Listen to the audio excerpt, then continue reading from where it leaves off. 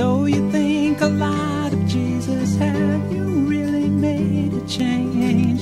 Are you living still in darkness? Do you think you need to rearrange?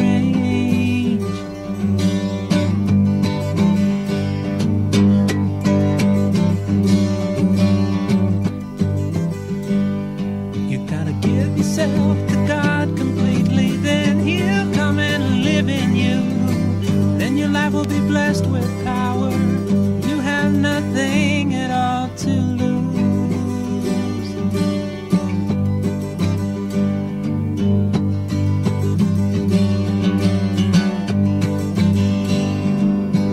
You can't live the Christian life alone.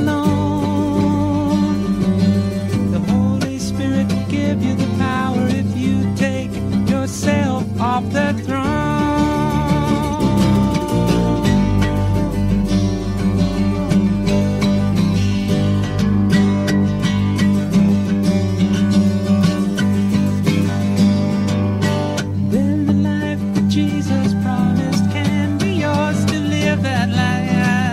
love and joy and peace and patience, self-control, good, kind and gentle.